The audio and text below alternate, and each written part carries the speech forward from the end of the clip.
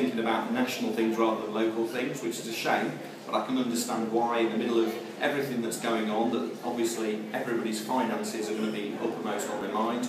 Unfortunately, what they tend to forget is who gave them the financial cold and just look at who's giving them the medicine to deal with it. And unfortunately, Labour sneezed, we caught the cold, and now the Conservative-led coalition are giving them the medicine, and that's what they remember.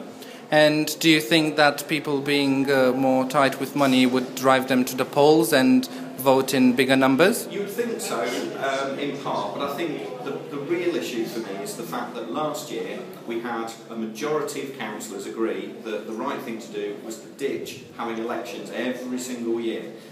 It's just expensive and pointless. Each councillor is elected for four years. Why not elect them all at the same time? Thereby you save hundreds and hundreds of thousands of pounds of taxpayers' money. The rest of the, of the East Midlands have already done this.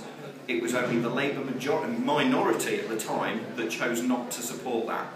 The net result, for their own political angles, they've spent lots and lots of our money, and we've ended up with an election tonight that most of the public haven't supported. We're down to 26% of the voters. Um, and we've got, instead of councillors keeping their eye on the ball, sorting out the council in these hard economic times, they're out running the streets trying to fight an election. You end up with short-term populist policies to try and win votes, rather than a four-year plan, which they could have had. And uh, didn't Labour councillors have the same issues? I mean, they've been up for re-election this uh, this year too.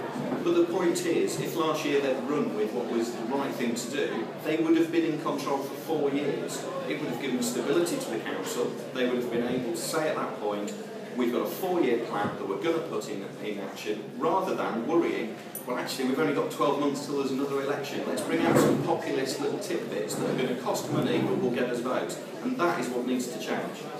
Thank you.